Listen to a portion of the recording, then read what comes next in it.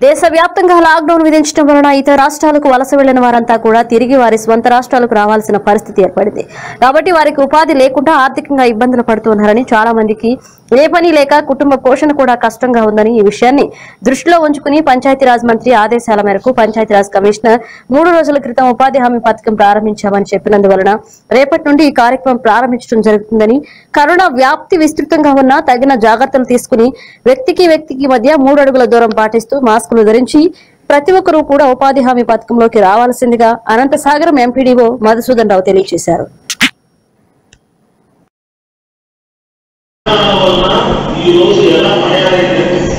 మనకి రాష్ట్రంలో అన్ని రాష్ట్రాల్లో కూడా ఈ లాక్డౌన్ విధించడం వల్ల చాలామంది ఇతర రాష్ట్రాలకు పనుల కోసం వెళ్ళిన వాళ్ళందరూ కూడా తిరిగి మన రాష్ట్రానికి మన గ్రామానికి రావడం జరుగుతుంది. అందువల్ల వాళ్ళకు ఉపాధి లేకపోవడం వాళ్ళకి ఆదాయాలన్నీ కూడా పడిపోవడం పడిపోవడంతో మన పంచాయతీరాజ్ కమిషనర్ గారు మన పంచాయతీరాజ్ మంత్రి గారు ఒక మూడు రోజుల క్రితం అన్న అందరూ జిల్లా కలెక్టర్లతో మాట్లాడి కోవిడ్ గ్రామాల్లో ఎక్కువగా ఉన్నప్పటికీ తగినంత జాగ్రత్తలు తీసుకొని అన్ని గ్రామ పంచాయతీల్లో ఉపాధి హామీ పనులు చేపట్టాలని చెప్పి ఉపాధి హామీ పనులు చేపట్టే సమయంలో వాళ్ళందరికీ కూడా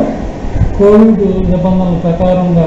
అన్ని జాగ్రత్తలు పంచాయతీ కార్యదర్శితో చెప్పి తీసుకోవాలని కోరడం జరిగింది. అయితే ఇప్పుడు అన్ని గ్రామ పంచాయతీల సర్పంచులు ఎన్ని కావడం వల్ల సర్పంచులే ప్రధాన పాత్ర పోషిస్తుండడం వల్ల గ్రామాల్లో ఇప్పుడు కోవిడ్ దృష్ట్యా ఒక పక్క శానిటేషను మరో పక్క ఉపాధి హామీ పనులు రెండు కూడా సమాంతరంగా జరగాలి జరగాలి. అందుకు గ్రామ పంచాయతీల సర్పంచుల నాయకత్వం వహించాలి కాబట్టి ఈరోజు మరొకసారి మన పంచాయతీరాజ్ కమిషనర్ గారు మండలంలో ఉన్న అందరి సర్పంచులను కూడా మండల కేంద్రానికి పిలిపించి ఒక వెబెక్స్ మీటింగ్ ద్వారా ఉపాధి హామీ పనులు చేయడం వల్ల ఎంత ఉపయోగం వాళ్ళకి ఎంత వేతనం పడద్ది